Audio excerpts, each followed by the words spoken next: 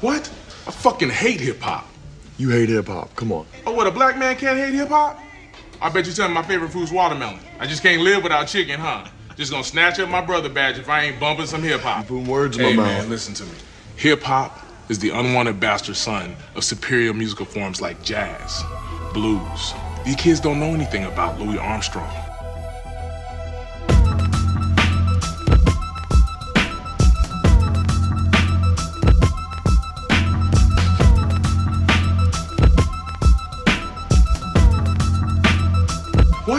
Fucking hate hip hop. Η δύναμη του λόγου μιλά πέρα από κάθε στερεότυπο. Κάθε λογότυπο είναι πανομοιότυπο. Κοινότυπο με το διαπρότυπο. Το πρότιμο πρωτότυπο. Το πρώτο μου το χτύπημα. Γι' αυτό βλέπω τι αντιπατυπώ. Μα αποτυπώνεται παντού από το τίποτα. Και κοντά αυτό το τίποτα είναι ο τύπο που πάντοτε να παραμένει κάτω από το ποτό. Και είναι το ποτήρι του πάντα γεμάτο. Και είναι τότε που κοιτώνται πάντα μόνο τα πέτω. Μαθαίνω να μεθώ με κάθε βήμα μου παραπατώ.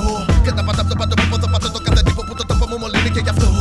Κάνω κάτι το κακό να πολεμώ. Δεν περιμένω από την πίτα του κομμάτι μόνιμα να νέα πάτη κατά με το που επιτύχω. Μα με το που με θέλω με το που με δω και κάποτε πανέτοιμο.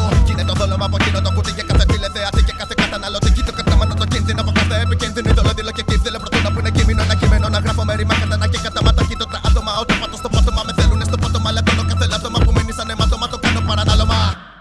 Μήνα με μήνα, χάνομαι μα, φαινόμενα, κάνα βλέμματα, φαινόμενα, φαινομενικά και κανονικά. Μείνω με μήνα, δεν είμαι να, είναι μήνυμα, είναι δελωμά, είναι δελημά, με τα δολομενά, χάνομαι μα, με τα δεμονά, είναι μονομενά και μόνο δελωμά, λέγομαι να, μα από δελωμά, είναι γονιμά, είναι μονιμά, μόνο ρεμενά, παραμενομενά, παραμελαμαμά, μόνο από νεμά, με ένα κινημά, μονιμά, μονιμά, μονηρά, να παραμένουμε ακόμα.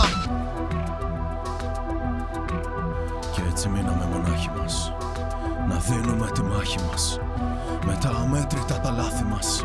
Που συναντήσαμε στο μονοπάτι μας. Είναι ραπ. Είναι η δύναμη του λόγου. Απέναντι στο λόγο της δύναμης. Εγκλωβίζουμε τη φωνή μας Μέσα σε κυματομορφές. Η μουσική είναι η φυλακή μας. Και είναι η μόνη φυλακή Που μάχεται για ελευθερία